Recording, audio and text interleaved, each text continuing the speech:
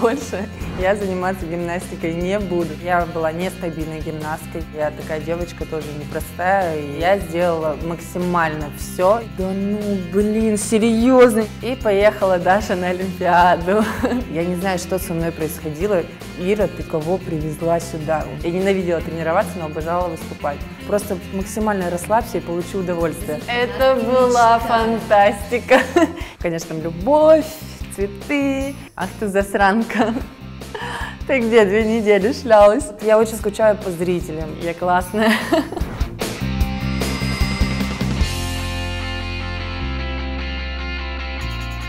Блин, я стесняюсь очень. Блин, может, все отменим, а пока не поздно? Нет. Уже поздно.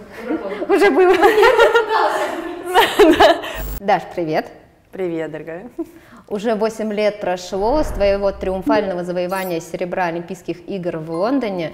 Подскажи, пожалуйста, помнишь ли ты этот предолимпийский год или уже все стирается в памяти? Нет, конечно, помню, потому что он был самый сложный для меня и морально, и физически, и психологически. И были моменты, когда я хотела и закончить уже с гимнастикой, но и мама, и тренер не давали мне такой... Не, не, молодцы, что не, дав, не дали мне такой возможности, потому что все-таки был большой шанс поехать, и нельзя было вообще сдаваться. Совсем недавно прошло Гран-при в Москве. Это такой самый, наверное, важный, опасный для некоторых старт, потому что он как раз начинает, все видят новые программы. Помнишь ли ты свое Гран-при? в олимпийском цикле вот последнего года? Вот ты знаешь, вот этот на самом деле, вот прям конкретно гран-при это соревнование, если брать, то нет, я честно не помню, но я помню перед самой Олимпиадой, когда у нас были сборы в Хорватии, вот этот момент я помню, потому что перед самой Хорватией у меня а, болела нога, и было сказано, что я не не попала в состав, олимпийский, олимпийский состав. Потому что перед Олимпиадой за 4 месяца до Олимпиады Ирина Сана сказала, что я не еду в итоге, и поедет Саша Меркулова. А, я уехала в Иркутск, расслабила булки свои и сказала, что больше я заниматься гимнастикой не буду, что все, я заканчиваю. Но Ольга, Ольга Владимировна сказала, что Олимпиада еще не, не началась, поэтому не надо а, паниковать, давай быстро тренироваться, набирать форму, будешь запасная, вдруг мало ли что произойдет, встанешь в состав. Естественно, у меня была истерика и паника, почему я должна запасная еще и тренироваться, еще и... Ну, в общем, это был очень, э, очень сложный момент в моей жизни, потому что кое-как меня мама пинком отправила в Москву, все уже были в Хорватии на сборах, я еще не приехала туда. Мало того, я приехала в Москву одна, потому что мой тренер психанула и сказал, что я с этой девочкой больше тренироваться не буду. Я приехала одна, сидела в номере, не знаю, чего ждала. В итоге Ольга Владимировна приехала следующим рейсом, естественно. Я сидела на полу, ничего не делала. Я сказала, что я тренироваться не буду, потому что ну, нет смысла. Я не видела в этом дальше продолжения. Ну и все, и в итоге вот так вот мы разругались очень сильно, даже подрались с моим тренером. Да, это очень известная такая история, которую она напишет в своей книге. И мы поехали в Хорватию на сборы, где, собственно, я и начала тренироваться и пахать. Последний год перед Олимпийскими играми был достаточно сложный, потому что изначально в заявке ну, все думали, что поедет Женя Канаева и Даша Кондакова. Все верно, да, потому что Даша, ну, честно, выиграла путевку туда. Иринсана нам дала возможность побороться за эту путевку. То есть, ну, Жень, ну, Женя, получается, практически, ну, безусловно, была первый номер, да, сборной России. А у нас были определенное количество стартов, кубков мира, да, допустим, там 10 было кубков мира, и кто больше выиграет, тому путевка и доставалась. И, и Дашка выиграла больше э, соревнований, поэтому она заслужила эту путевку, честно. Поэтому она должна была поехать, но из-за травмы. Когда появилась э, мысль, надежда, что ты сможешь все-таки поучаствовать в Олимпийских играх, когда Даша получила травму или были уже ранее звоночки? Ну, если честно, я надеялась, да, на то, что если, да, не если, я, над... я надеялась на то, что, ну, как бы Даша раз получила травму, то, конечно, эта путевка автоматически должна была достаться мне, но я, честно, не помню, когда конкретно был последний старт, когда вот нам объявили уже, что Даша едет и Женя. Не вспомню даже, какой это месяц был. Но буквально через короткий период Даша получает травму. Это была и... весна 12 скажем так. Да, наверное, скорее всего. Вот. Да, да, ну... И Дашка получает травму, ну и, соответственно, я планировала поехать вторым номером первым хотела сказать. Но здесь молодая, амбициозная любимица Саша Меркулова. Да, да, я не знаю по каким причинам, но как Ирина Санна объяснила, потому что я была нестабильной гимнасткой, я завалила последний чемпионат мира, который был во Франции, полный провал, я даже не хочу это вспоминать, это был просто ужас и стыд. Ну и в связи с этим, что я нестабильно выступаю, на чемпионате Европы у меня была потеря, она сказала, что поедет Саша Меркулова, молодая гимнастка, и тут у меня вообще руки опустились. Ну, ничего себе. Это последний чемпионат Европы перед Олимпийскими играми, да, который да. был в июне, в конце мая, в июне. Да, да, да. Ты его завалила? Да. И у Саши еще больше Да, еще больше шансов. Чемпионат мира даже, чемпионат мира большую роль сыграл. Чемпионат мира был последний во Франции. Там я очень плохо выступила, была потеря за площадку.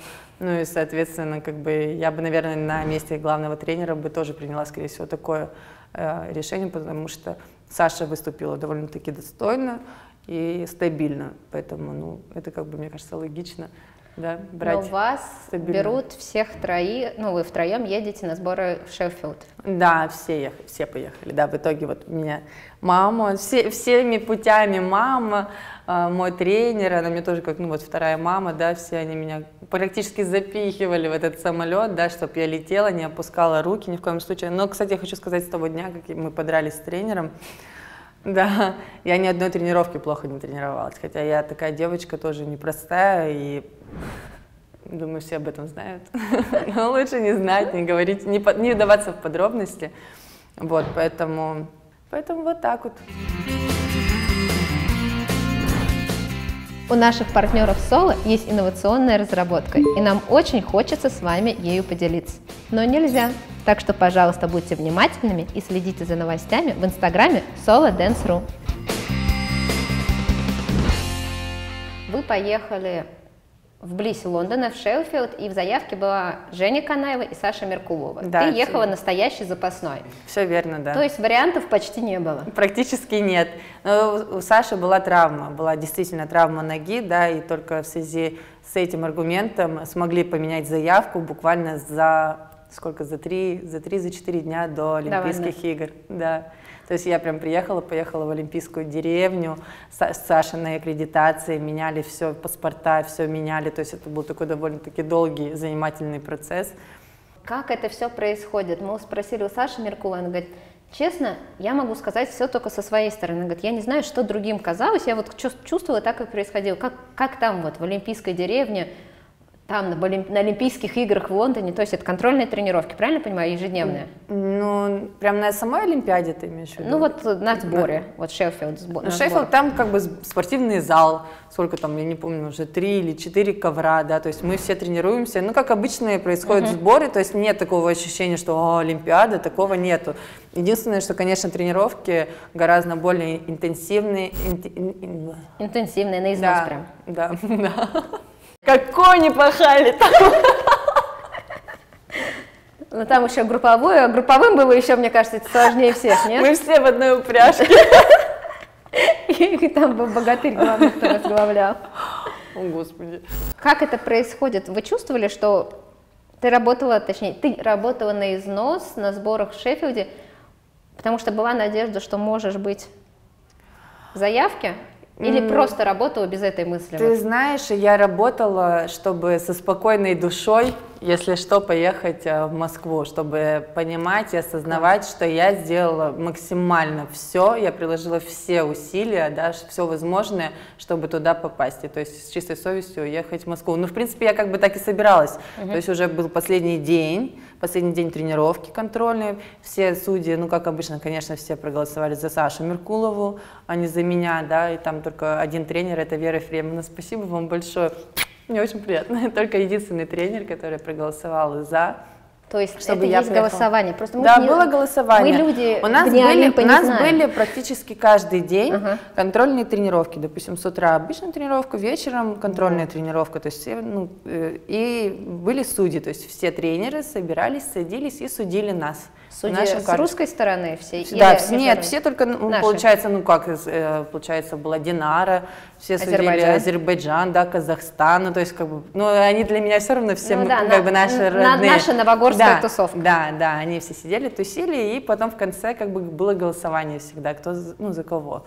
И, ну, конечно, я всегда проигрывала. Хотя почему? ну, потому что вот так вот, э, так, вот так, я не знаю почему. Может, вы мне скажете, почему? Но там даже Женька Канаева, она подходила, заступалась, там, ну, открытое было судейство, да, там Иринсан ругалась, что вы ей засчитали то, что она не сделала, там столько было споров, что она сделала, она не сделала, и уже Женя подключалась, говорила, Иринсана, да Даша сделала, ну, то есть это уже, ну, как бы это все переходило, ну, как бы, ну, уже, ну, смешно было. И все, и вот последний день, и все голосуют против меня, кроме Веры Фремовны, ну, и я со спокойной душой иду в номер, я думаю, все, я сейчас буду есть, пить, короче, гулять. Короче, Лучшие гулять... тусовки Лондона, да, да, да, я думаю, ну все, наконец-таки, я была уверена, что я закончу со спортом, что все, мы, я прям вообще уже мысленно там. И звонок, э, звонок в телефон, звонит телефон в номер, а я отвечаю, и мне Липковская говорит, Даша, зайди, пожалуйста. Я такая, говорю, захожу, и она такая говорит, ну что, ты едешь на Олимпиаду? И я такая, я как бы вообще этого, если честно, не ожидала. Я даже не знала сначала радоваться или грустить, что я уже была одной ногой-то уже в Москве, понимаешь? Я уже хотела отдыхать. Ты уже на концертах да, в Лондоне была. Да, а тут мне говорят, ты едешь? И я такая, да ну, блин, серьезно. Я, короче, сначала расстроилась, иду так в номер. Пришла Сашка Меркулова. Сашка, ну, расплакалась, мы таки поплакали с ней, она говорит, да, что ты заслужила эту, ну, потому что все равно тяжелая такая была, ну, как бы борьба, и она сама немножко, ну, как бы все равно понимала, да, что как бы должна была поехать я, да, тут такая ситуация. Ну, в общем, мы вместе поплакали, пообнимались, и поехала Даша на Олимпиаду. Тут самое веселое началось. Интересно. Да, у нас, значит, э, два дня опробования, первый день опробования – я, значит, прихожу, ну, более-менее нормально, ровно прошел. Uh-huh. Второй день опробования, и у меня, получается, опробование с мячом. Я на следующий день выхожу из России, первое, получается, сначала я, первое в потоке, короче, выхожу с мячом. Не с обруча даже начинаю. И у меня этот мяч, короче, а все судьи собираются, все судьи фиш, все приходят, смотрят. Это контрольная уже? Да, угу. да, контрольная тренировка. Не контрольная, а опробование. А, опробование перед Олимпиадой. Все, угу. завтра Олимпийский день первый. И Даша такая выходит Мурашки. с мячом. Да, и Даша выходит с мячом. И как он у меня за площадку давай падать. И я падаю на один бок, на второй. Я кручу, я клянусь, я кручу поворот, и я падаю на колени. Я не знаю, что со мной происходило. Меня как будто бы кто-то вот так взял и вот так вот по площадке. Я смотрю одним глазом на Иринсану, там все собрались, все судьи, все подходят к Иринсане и говорят, Ира, ты кого привезла сюда? У меня вот так трясет. Мой тренер вообще ушла из зала, она даже не могла, чтобы ты понимала, я сейчас рас... я рассказываю, даже сейчас сама переживаю за себя со стороны, что, что бедная эта девочка на ковре пережила. Ну, я подошла к Иринсане, Иринсана просто вот так сказала, чтобы я не подходила. Ну и все, все от меня, короче, как будто бы отказались. Я, короче, ходила, ходила, собрала свои вещи, пошла, короче, в номер, не знаю, что делать. Ну, то есть все, у меня шанса даже потренироваться нет. И я, короче, спускаюсь вниз, получается, на ужин, и мой тренер сидит.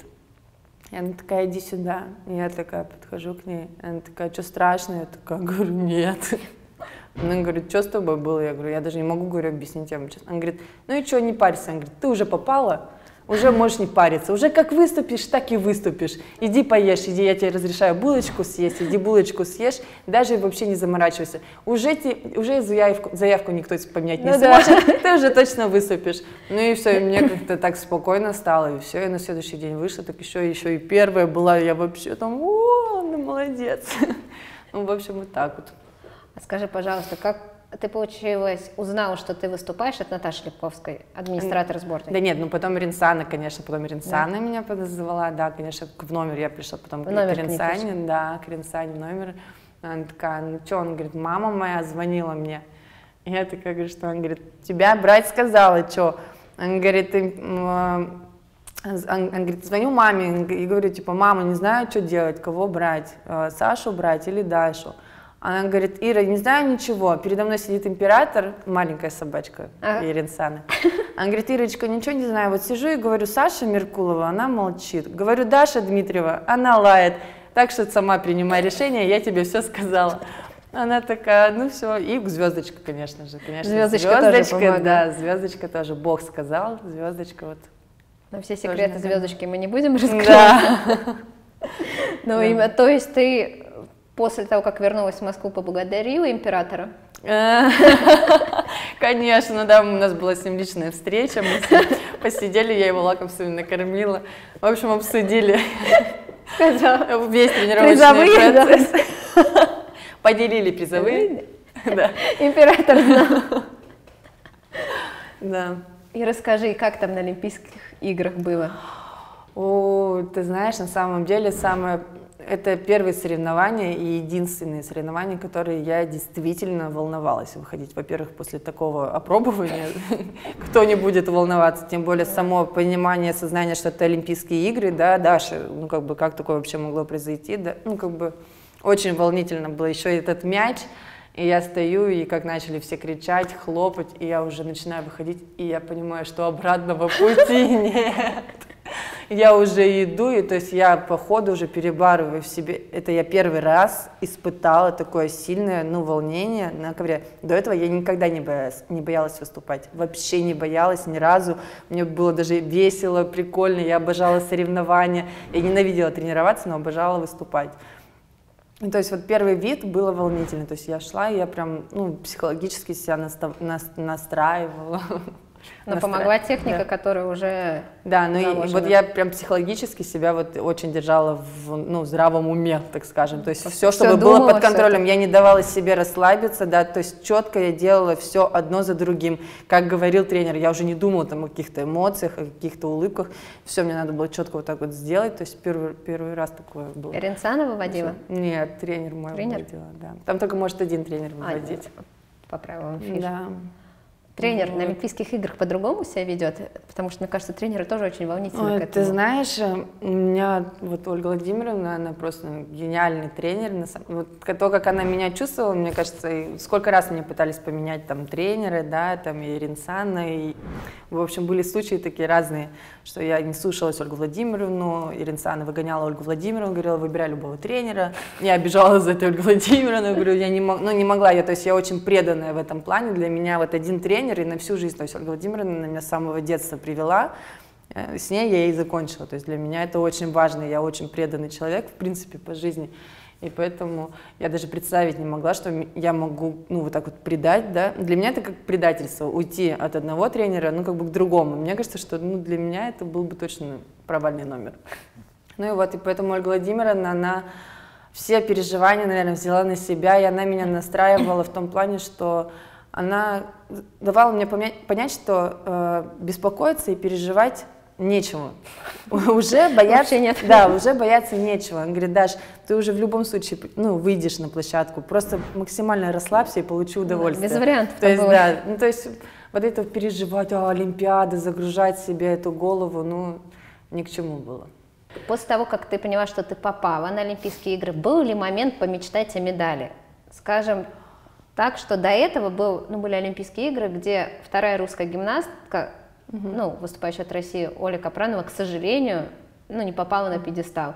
Это злосчастная булава, угу. ну, да. это все... Причем была у меня тра... тоже булава да, уронил. Была, да, была трагедия, да, да, была трагедия для всех, потому что, ну, Оля была тоже таким лидером, ну, креп, очень крепкой гимнасткой, и думала, ну, серебро-то уж точно, угу. но потом бронза, да.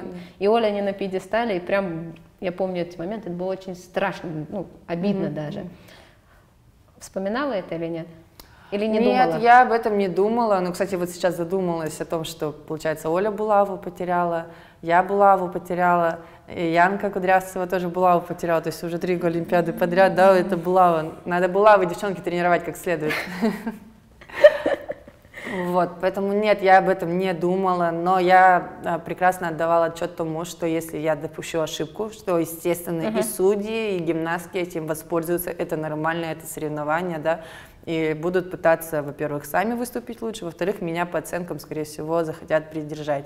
Поэтому ну, я как бы себя на это настраивала, я была к этому готова, поэтому после ошибки я максимально хладнокровно настроилась. Я была уверена, что я в многоборье точно, ну, как бы mm-hmm. ничего не, не, не допущу, не подведу. Не подведу никого, я не допущу ошибки. Поэтому я хладнокровно настроилась на финал и, и более-менее нормально выступила. Ну, на самом деле, не так, как я могу, но я старалась. Тебя уже много раз спрашивали про твой фирменный жест. Ну, мы не будем вот исключением. Расскажи. Рассказываю. В общем, когда мы тренировались в Иркутске, у нас там своя была банда, понятно, там девчонки, все тренировались, все тусовались, общались, да, между собой. Всем иркутским девчонкам привет. Вот, и, в общем, была одна девочка, очень хорошо дружили. Вот ее папа а, очень болел, очень переживал, что попаду я на Олимпиаду, не попаду. И все уже, когда руки опустили, все сказали, что ну уже, Даша, ладно, там, смирись, да, ты не, никуда не поедешь. Он сказал, Дашка, ты поедешь сто процентов. Я говорю, да, Эдик, я говорю, я точно не поеду. Он говорит, вот ты поедешь, вспомнишь мои слова и обязательно мне вот такой вот знак покажи. И представляешь, именно в последний день вот сколько там, я не знаю, прошел полгода, наверное, да, то есть и до Олимпиады мы, до Олимпиады мы никак не общались, да, и никто мне не, не напоминал, и то есть я такая сижу, и я вспоминаю, что он мне сказал, я такая, раз, да, и все. Такой ну, знаменитый, интересно. все думали, кому же это ты послала да. такой знак? А все еще думали, что я типа показываю э, то, что, то, что я типа все равно попала на Олимпиаду, что ну утирает, утерла типа нос. Ну это сплетни, это... интриги, расследования мира художественной гимнастики. Не верьте, верьте слухам. Женя Канаева первое место, Даша Дмитриева второе место. Тогда было, наверное, триумф сибирской художественной гимнастики. О, кстати, точно, да, я об этом не думала. Мне Теперь кажется... задумалась, спустя 8 лет. А потом была триумф московской художественной гимнастики Рита да, и Яна. точно.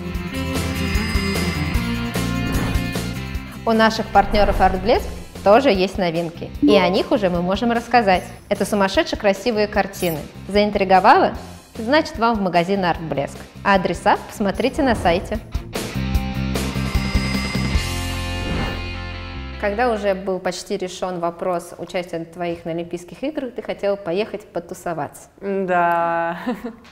Чувствую, Иринсана это предчувствовала, и после Олимпийских игр устроила вам роскошный отдых. Да, это Расскажи, как это было, потому что писали все газеты, девочки гимнастки Это была мечтали. фантастика. Нет, это было действительно очень круто. Ну, то есть ты представляешь, да, две яхты, одна яхта Ирин Санны, другая яхта Алишера Бурхановича, на которой мы плыли. Э, он специально не хотел, чтобы мы пересекались с Ирин Санной, чтобы мы морально, ну, как бы нормально отдохнули, могли расслабиться. И вот мы ездили в Монако, туда он нам еще дал кругленькую сумму, которую мы тратили на вещи, сумки, туфли, шубы, кто что, тот, кто что хотел, тот себе то и покупал. Были все девчонки сборной? Да, все, кто участ, участвовал на Олимпиаде. Какие яркие еще впечатления, кроме сумок? Больше никаких. Но фотки в Инстаграме это да нет, ну конечно, мы жили на виллах, где, э, мы причем разделились. Мы с, мы с Женькой там еще не помню, кто конкретно, еще кто-то из личниц. Вот мы жили на одной э, вилле, а другие девчонки групповички на другой вилле. О, мы даже один раз в клуб ходили, я сейчас вспомнила, да, мы ездили там с охранниками, короче, в клуб, э, стол, у нас стояли охранники, нас охраняли, мы там танцевали, представили, даже до сих пор фотки где-то есть, ну, ужас, там смотреть, конечно. Ну, в общем, на самом деле наш отдых закончился просто фантастически. Просто мы отдохнули, мы катались на этих скутерах, э, на всяких плюшках, на бананах, на одной яхте, на другой яхте. Тут, ой, ну, в общем, это просто было сногсшибательно, наверное, да. Самое лучшее, что могло быть в моей жизни. Отдых, в смысле. Не самый лучший. Ну, да, тогда девочки, наверное, все гимнастки такие. Да, там вообще, конечно. Олимпийские медали это классно, но вот эта атмосфера и со сборной вместе, это, конечно, было сумасшедшее. Нет, это огромное спасибо Ирин Сане, огромное спасибо Алишеру, конечно, за такую возможность, за такой отдых. Он остался, к сожалению, Подолгов. позади.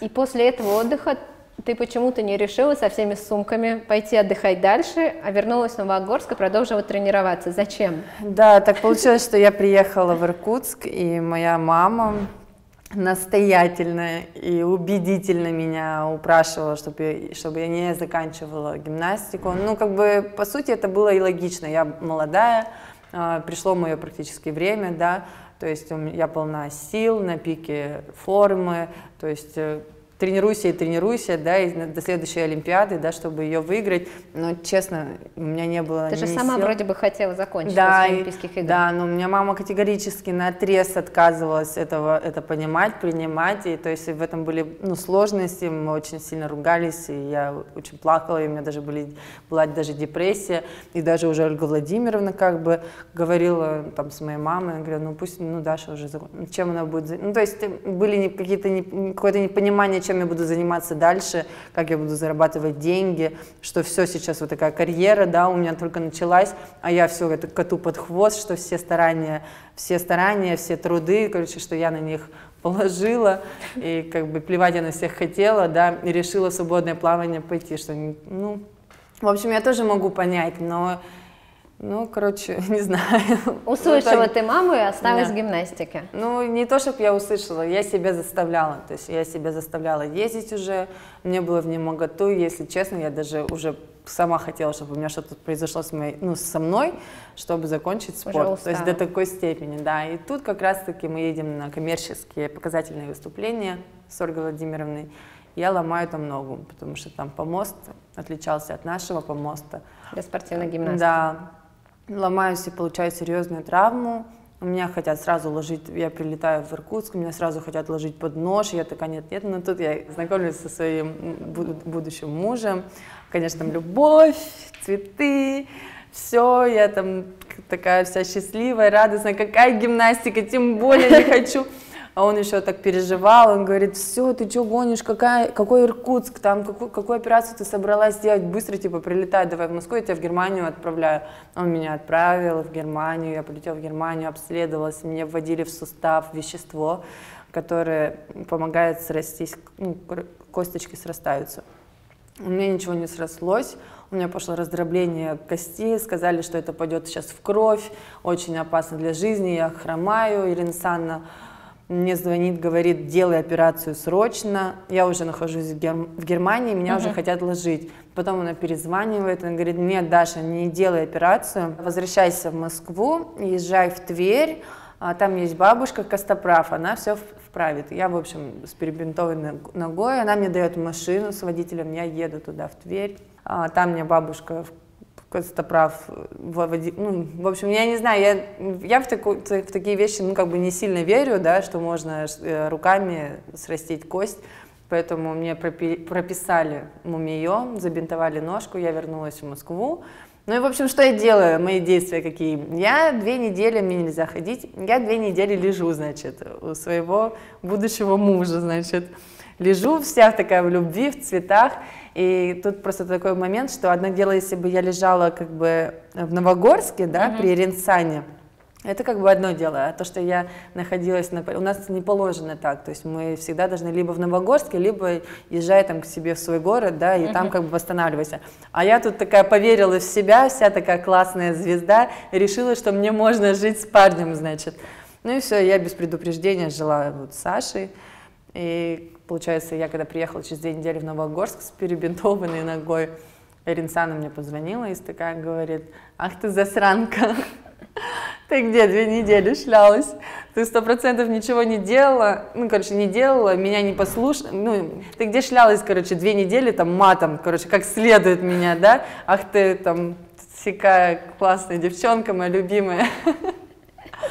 В общем, я сделала все для спасения твоей ноги, а, теперь дальше справляйся сама. Ну, я тут же, мне тут же покупают билет на самолет, я тут же лечу в Германию, тут же ложусь под нож, мне делают операцию, то есть я с гипсом, у меня было, было восстановление довольно-таки долгое, то есть я месяц uh-huh. ходила с гипсом и еще месяц ну, в специальном сапоге. Ну и после этого меня всячески, как меня только не уговаривали, то есть у меня уже и Саша уговаривал, и тренер, ну тренер единственное, что она всегда была на моей стороне, то есть она говорит, Даша, я в Новогорск сама не хочу. Если ты приняла решение заканчивать, все, заканчивай. Да, то есть уже и Ольга Владимировна устала, ну то есть и ей тоже хочется и с детьми, и с внуками побыть. И только мама настоятельно мне возвращайся, возвращайся. Но я прям закрылась в квартире, я вот так закрылась, как вот так забитый котенок, так сидела в квартире, говорю, я никуда не выйду отсюда. И уже Саша подсаживался, Даш, ну может быть все-таки ты вернешься, ну сейчас вот прям пик твоей формы. Ну как, я говорю, какой пик формы? Я говорю, ты гонишь? Говорю, сижу с этим сапогом на ноге. Ну, в общем, все, все приняли мою сторону. Мама тяжело это пережила, конечно. Мама очень тяжело переживала. Мы долго не общались с ней. Я закончила. Я таки осталась в Москве жить. Я даже не поехала в Иркутск вещи собирать.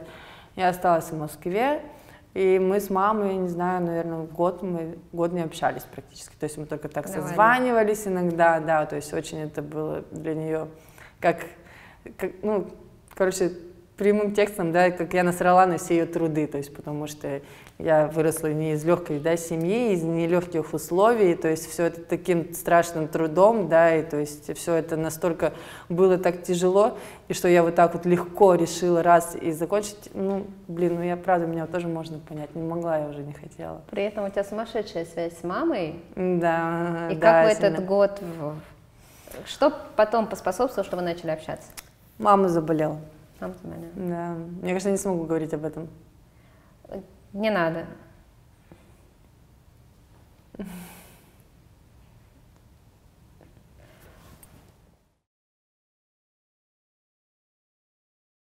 Как раз твои теплые, теплые взаимоотношения и с мамой, и новую Дашу Дмитриеву, не ту, которая на картинках, в журналах, э, такую красавицу гламурную, мы узнали из твоего таких повесть «Трудный ребенок» из Инстаграма, да? Да. Расскажи, смело. откуда и как тебе хватило смелости это рассказать, потому что это, можно сказать, ты из рамок с таких вышел, потому что в Инстаграме краса, ну, такая девчонка классная. Вы знаете, это как раз э, первый мой пост был «Трудный ребенок», это когда у меня было день рождения, и у меня почему-то перед каждым днем рождения, я не знаю, как у всех, у меня очень огромный поток мыслей в голове. То есть настолько он огромный, что я не могу справиться с ним, то есть я, я не могу спать, я мучаюсь, я, нач... я просто тупо беру вот так телефон, и я начинаю. У меня в заметках, я не знаю, больше тысячи, наверное, записей. То есть я редко что могу что-то выставить, ну, как бы на показ, да, потому что я не знаю, не все люди а, могут адекватно в наше время а, воспринимать информацию. Поэтому я начинаю писать, и я почему-то подумала, что почему бы э, людям не познакомиться как раз с той Дашей, которая есть на самом деле. То есть это все такие думают, Даша такая там гламурная, такая вся классная, ходит, вся такая крутая, муж у нее, значит, бывший хоккеист, там все при деньгах. И меня так настолько это устало, что люди... Действующий да. хоккеист. А? Действующий хоккеист. А я сказала не действующий? Бывший хоккеист. Я сказала бывший, я сказала мой муж бывший, нет? Ничего, нет, бывший. мой муж бывший хоккеист. Э, э, ну я просто сказала мой муж бывший, я сказала. Короче, бывший. В общем, вот. Извините. Да. Короче, вот то есть какая-то определенная картинка обо мне вот такая создается, и мне я решила рискнуть причем я этого, ну, как бы не стыжусь и даже наоборот горжусь то есть своим нелегким детством, и я им очень благодарна, потому что на самом деле мы все в равных условиях находимся, только у кого-то там в детстве какие-то проблемы, да, у кого-то потом а, с детьми проблемы, у кого-то там с мужьями, с родителями, то есть у всех разные проблемы, но в принципе мы все находимся в одинаковых абсолютно условиях в этом мире. Вот, и поэтому я решила поделиться своей историей, жизнью, потому что это, это имеет место быть, почему бы нет. Для многих девчонок, особенно из регионов, это было таким настоящим свежим воздухом, потому что не такая красивая история, как Ирина Санна заметила меня из тысячи, ну, да, поцеловала да, да. в лоб, и я пришла в Новогорск и стала ее Чемпионка. любовью, да, и сразу стала чемпионкой желательно. Расскажи, как трудный ребенок из Иркутска. Остался таким же трудным. Но превратился при этом во внешне очень красивую и уже известную гимнастку. Да, я думаю, что здесь нет никаких секретов, это только огромный труд. И причем я думаю, что как раз-таки, когда у тебя нет возможностей, а, у тебя больше появляется потенциала тренироваться, трудиться, потому что сзади тебя ничего не держит. То есть ты оглядываешься назад, и ты смотришь, что жизнь, которая находится сзади... Это... Тебе не хочется туда вернуться? Конечно, тебе не... это огромная мотивация, то есть, чтобы двигаться вперед. То есть даже когда ты, ты не хочешь уже тренироваться, вот у меня бывают такие моменты, что все, я хочу закончить. Если другие там дети, да, кто-то, у которых есть возможность, да, там учиться, одеваться нормально, да, то есть они все равно знают, что им родители, ну, нет-нет, какую-то почву, да, под ногами mm-hmm. дадут. А ты сидишь вот так на этом ковре и понимаешь, что кроме тебя, если ты жопу там свою не поднимешь и не заработаешь эти деньги, да, квартиру платить за, завтра некому. То есть я иду на тренировку, мне мама говорит, Даша, платить завтра некому, не, не, нечем платить за квартиру. А я сижу и говорю, я не хочу тренироваться. Она говорит, ну хорошо, он говорит, иди тогда попрошайничаем. Говорит, давай пойдем вместе попрошайничать, жопу морозить. Он говорит, денег нету. То есть, ну и все, и вот так вот. э, И, ну, я, я реально в основном чаще всего тренировалась только из-за того, чтобы, ну вот, достичь какого-то результата и зарабатывать деньги. Ну, потому что, в принципе, Ольга Владимировна как бы этим и мотивировала, она и рассказывала, и показывала, посмотри, а вот эта девочка, вот как она выросла, какие у нее купальники, а какую она зарплату получает. То есть в этом плане мне Ольга Владимировна все четко показала, рассказала, то есть я знала, на что я иду и чего я могу добиться. То есть она нашла к тебе такой ключик, который, ну, каждого ребенка за Ну что-то да, можно ну да, вытащить. Кому-то просто за похвалу, то, что его погладит Да, по голове. да, Кто-то да. хочет известность. Она понимала, что ты ну, из не такой простой семьи, ну, если говорить Ну языком, да. и нашла в тебе этот крюк, который смог тебя мотивировать работать. Я говорю, у меня гениальный тренер.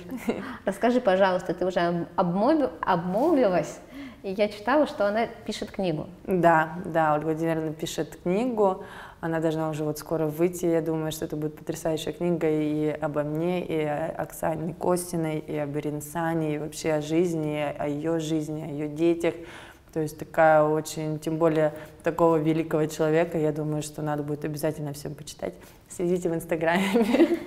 Правильно, здорово, потому что таких книг нету. К сожалению, тренеры не успевают писать, и слава богу, Да, что, может да, быть, ты закончила, что появилось Вот, время. как- вот именно, как раз таки так и, в принципе, это так и произошло, что я закончила ее, и у Ольги появилось время вот так поделиться своей историей жизни. Расскажи, пожалуйста, ну всегда это очень большой отклик, как девочки попадают в Новогорск. Пройдя определенные соревнования, то есть ты сначала должен выиграть соревнования в своем городе, потом округ, потом там Сибирский федеральный вот округ, потом ты вы- выходишь на чемпионаты России, потом ну, сначала первенство России, потом чемпионат России, и там ты должен пойти в восьмерку, там в десятку, я сейчас не знаю, в Разные, да. в зависимости сколько. Да, и то есть там уже посмотрят. То есть у тебя не было волшебства, что у тебя волшебная палочка? Нет, нет, конечно, нет. И это, причем я помню даже этот момент, это был отбор перед чемпионатом Европы, а, по- вот среди юниоров, Юниоров. да, мне было сколько 13 лет, был чемпионат России, и там в каждом виде, а так как у нас э, могла выступать одна гимнастка с одним видом, да, то есть могли выступать четыре гимнастки. И с каждым видом э, первые восемь гимнасток а, попадали в финал. И так по- получилось, я не знаю, каким-то действительно чудом, что я попала в один вид в мяч, в финал. И все остальные нет. То есть для меня это был просто такой фурор, что я заняла восьмое место. Но я очень расстроилась, кстати, потому что все девочки отдыхали, а мне надо было на следующий день выступать с одним видом, еще ждать, когда эти две, два вида сделают, потом я чтобы сделала. Вот, и мало того, я еще с этим мячом, мало того, что я восьмая попала, я еще умудрилась занять третье место в финалах, потому что все завалили его. Представляете? И я вот так стою на, этим, на этом пьедестале вот с такими шарами, думаю, это я, это я стою здесь, да ну.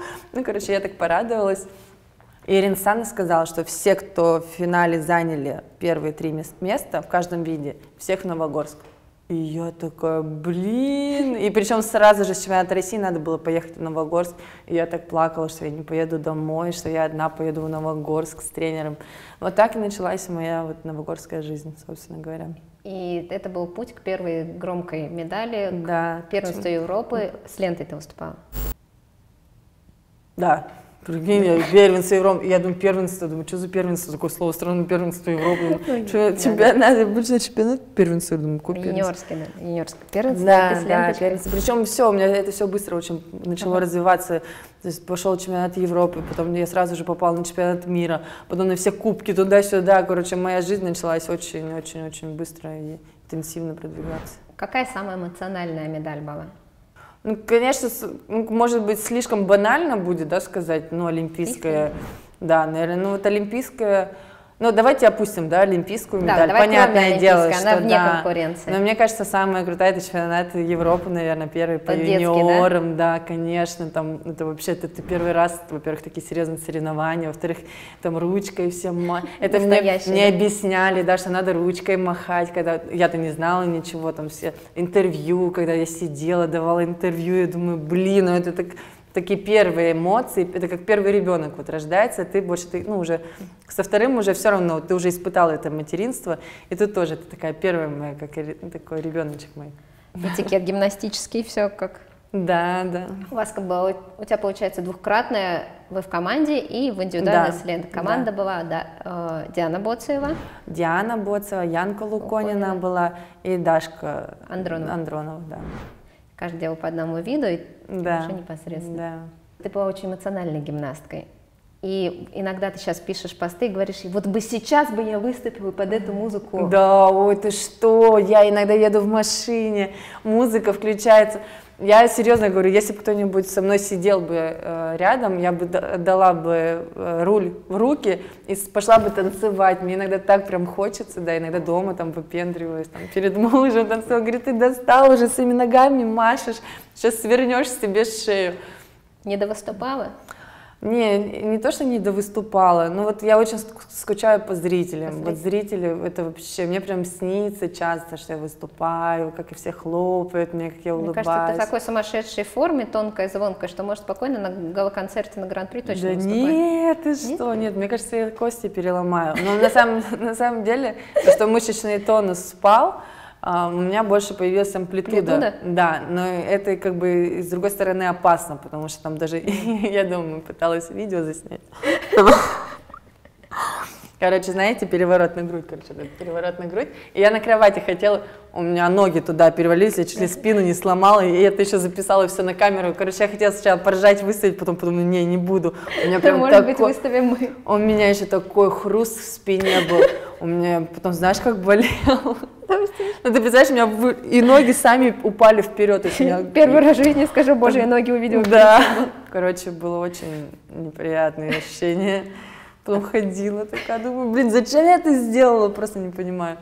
Какая из твоих постановок, которых ближе к тебе? Может быть, это показательный номер тогда у тебя в оранжевом платье такой классный был. Ну, показательные, да, я, ну, я любила показать, ну как, ну у меня так на самом деле как-то не сложилось э, в моей жизни, чтобы я выступила именно с тем номером показательным, с которым я бы хотела. Но я очень часто представляю, с- как бы я, хоте, как, как бы я хотела выступить, и многие там элементы, движения, то есть я прям в голове прокручиваю. Что, ну, я бы, наверное, это смогла только сейчас сделать, да, ч- через какое-то а, пройти жизненный какой-то путь, да, что-то какие-то... там Эмоции с- под- Да, да, таскать. да, и вот сейчас бы я, наверное, выступила Сейчас бы бы было классно, да. показательного у Даши Дмитриевой? Это было бы очень, очень душевное, очень прям душевное, с актерским ма- мастерством. Не знаю. Не могу не спросить про твои татуировки. Есть ли что-то связанное с гимнастикой? Нет, ни с гимнастикой, ни с моими мужьями, ни даже с детьми. Ну, расскажи немножко. Здесь изображены мифические животные. Каждое животное – это мой член семьи. Вот, оно все завивается в цветах.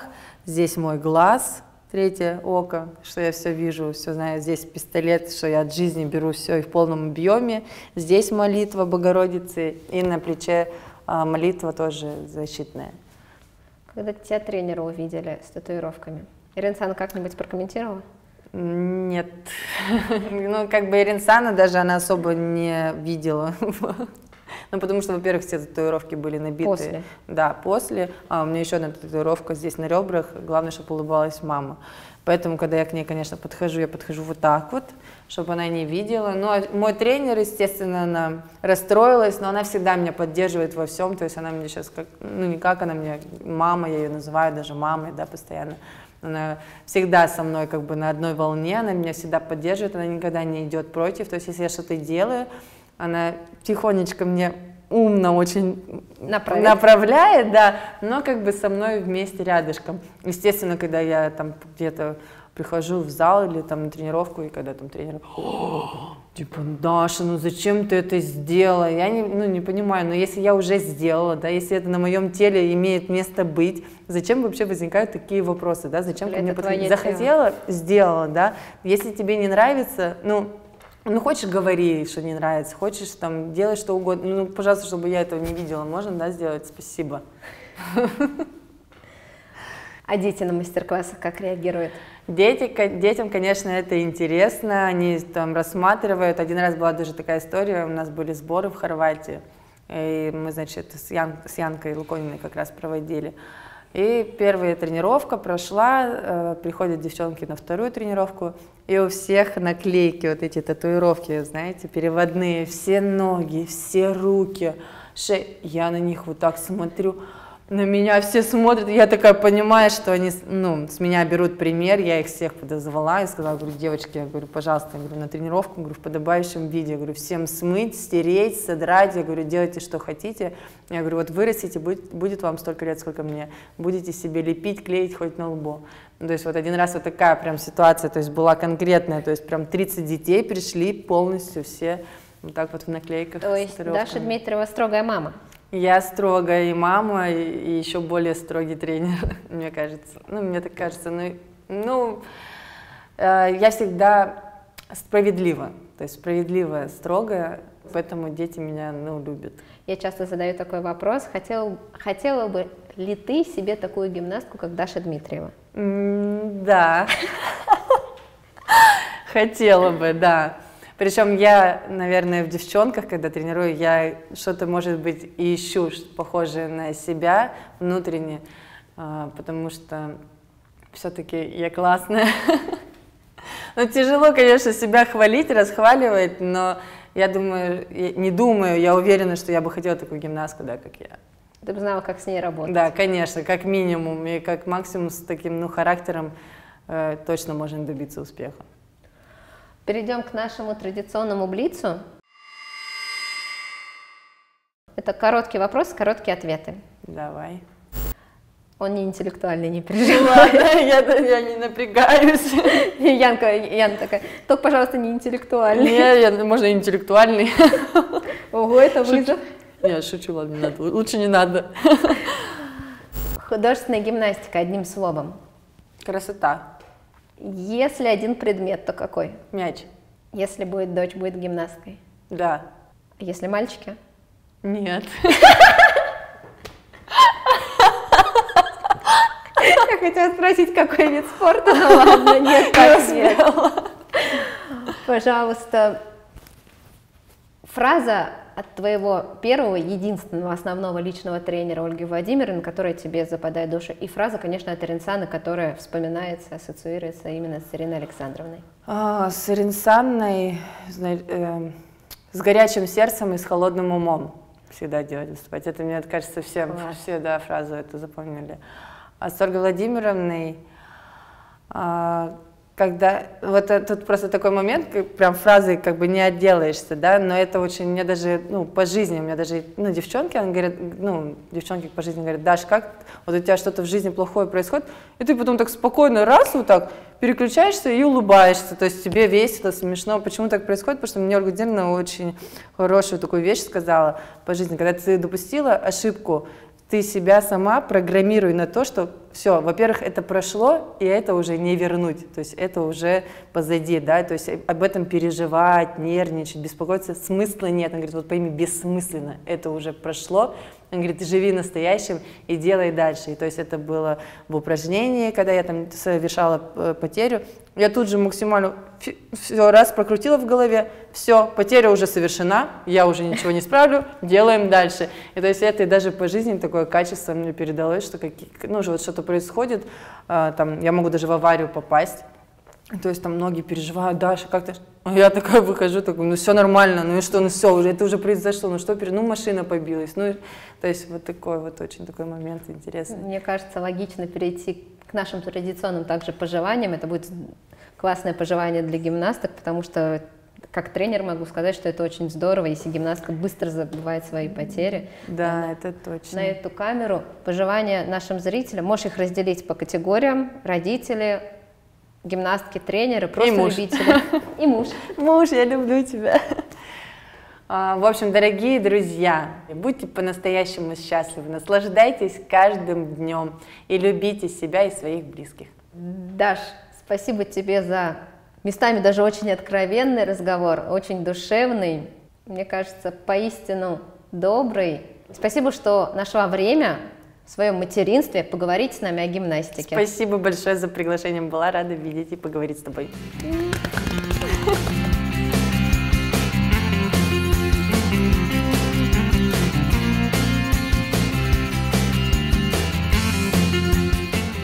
Все, я начинаю волноваться, сейчас я уже сейчас выйду отсюда. Как?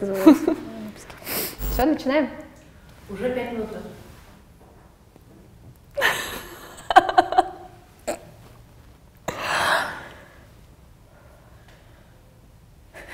Ну, здравствуй, дорогая Азиза, как у тебя?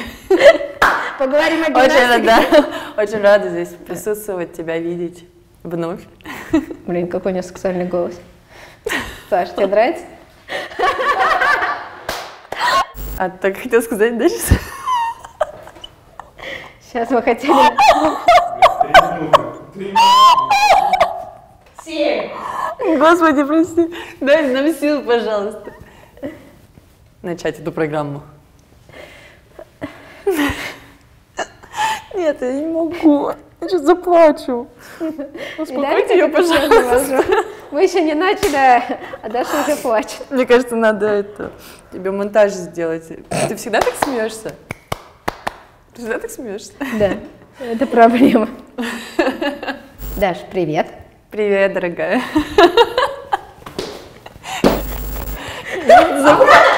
Она ушла. Фух, все нормально. Нормально, садись еще Давай. раз, не переживай. Сейчас начнем. Даш, привет. Привет, дорогая. Уже 8 лет прошло с твоего завоевания серебра Олимпийских игр в Лондоне. Скажи, пожалуйста, помнишь тот 2000 2012 год? И мне каждый хлоп, каждый раз.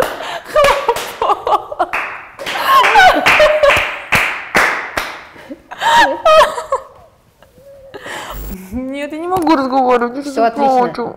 Все отлично. Представь, у нас нет. И вот это Зачем я согласилась на это? Я просто сейчас земля на это.